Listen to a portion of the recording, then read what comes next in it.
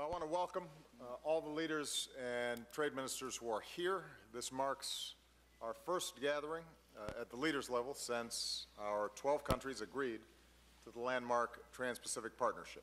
Uh, we were able to complete the negotiations thanks to the commitment of the leaders here, and I thank each of you, but I think it's also appropriate for us to thank uh, our trade ministers and their teams who engaged in extraordinary work in some very challenging negotiations across uh, a wide range of issues. Uh, all of you did an outstanding job. You know, TPP is at the heart of our shared vision uh, for the future of this dynamic region.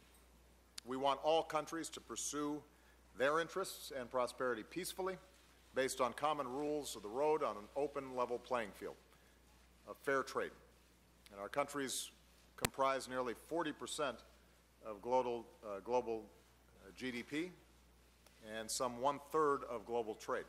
So this isn't about boosting exports between our countries in the Asia-Pacific. The TPP is also helping to write the rules of global trade for the 21st century. This is the highest standard and most progressive trade deal ever concluded. It includes strong protections for workers, prohibitions against child labor and forced labor, it has provisions to protect the environment, to help stop wildlife trafficking, to protect our oceans.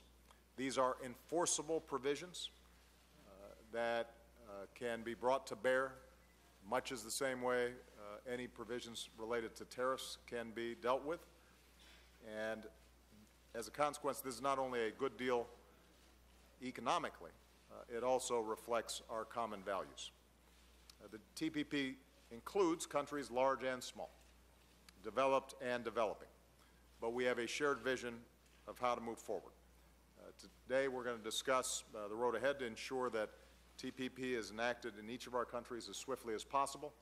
Uh, obviously, uh, execution is critical uh, after we have arrived at the text, and I just want to once again commend all the leaders here for their extraordinary leadership this is not easy to do. Uh, the politics of any trade agreement are difficult. The fact that uh, everyone here stepped up uh, and made some hard decisions that are going to pay off for decades to come, I think is a testimony to the vision uh, that was reflected. And uh, I want to congratulate all of you for outstanding work. Okay? Thank you very much, everybody. With that, we're going to do a little work.